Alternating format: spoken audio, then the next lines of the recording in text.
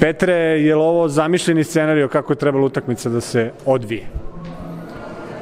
Ja mislim da nikad ne postoji zamišljeni scenario. Ja stvarno sam znao da na početku neće biti lako, to je normalno. Znači, e, uvek početak jednog velikog turnira nezgodna ekipa kao što je Alžir, ja mislim znao sam da će biti teška utakmica i tako je bilo u prvom polovremenu, ali najbitnije je da nismo izgubili glavu, da smo i dalje e, verovali u, naš, u našu igru, da smo verovali u nas kao ekipa, ja mislim da se to vidjelo i na kraju ja mislim da smo zasluženo visoko pobedili. Ruka je nameštena, vidjeli smo odmah na početku, nemaš nikakvih problema. Hvala Bogu, znači je dobro, to nije sad ni toliko bitno, naravno e, jeste lepo, ali najbitnije je stvarno da mi pobeđujemo, sve drugo je nebitno ko je u ovoj ili onoj utakmici, ko tu daje golove, ko kako igra, najbitnije je da mi pobeđujemo kao ekipa i ako tako budemo svi mislili, onda ćemo stvarno daleko dogurati. Ja bih volio da mi pohvališ, znam da nije ono vaspitno da se hvale mladi igrači, ali Stefan Dodić igra kao da ima 150 nastupa.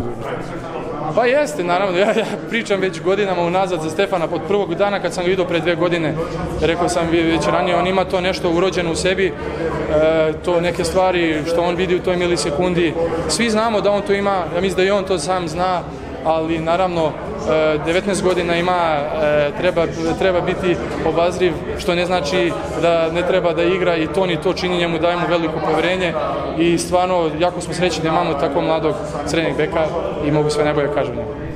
Ništa, Patrik Grecki je rekao 50-50 o šansama. Gislason je rekao da je Srbija ozbiljna, ozbiljna reprezentacija u ovom trenutku, da nije video bolju Srbiju unazad 10 godina lepo čuti eto da su ako su to tako rekli, a verujem ti da jesu. E, kao što sam i rekao evo ranije, ja stvarno imam veliko poštovanje prema Nemcima pošto znam kako to tamo izgleda i kako se rukome tamo tretira od malih nogu. To je jedna mašinerija, ali isto tako znam i verujem u nas 100% i znam ako mi budemo igrali onako kako možemo i kako trebamo i budemo verovali, bili pravi, da možemo pobediti. Hvala.